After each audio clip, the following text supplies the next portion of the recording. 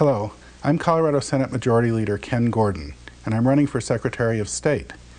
The Secretary of State is the chief election officer in Colorado, and I'm running because I care about having free, fair, and honest elections. But do you know how hard it is for a Democrat to win in this state? I might have to do some of the things that other candidates have done. Ben Nighthorse Campbell rode a motorcycle.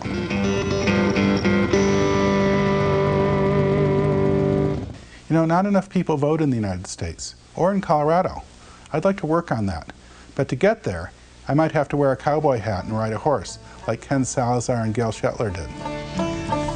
This horse is kind of big. If you got a smaller one, let's go this way. That way. Go that way. go that way. Voter confidence has taken a hit in our last two presidential elections. I'd like to work with our county clerks to restore trust in our election results. But to get there, I might have to jump out of a perfectly good airplane, like John Hickenlooper did.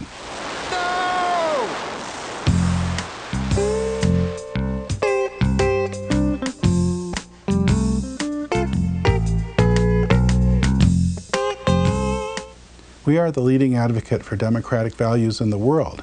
In order to continue in that role, we're also going to have to be the leading advocate for democratic values here at home. We're running a grassroots campaign. You can help. Forward this podcast to your list. Display a yard sign. Sign up to be a volunteer. Make a campaign contribution. Thanks. I'll see you on the campaign trail. What's its name? Widowmaker. Widowmaker. Yeah. Why is it called Widowmaker?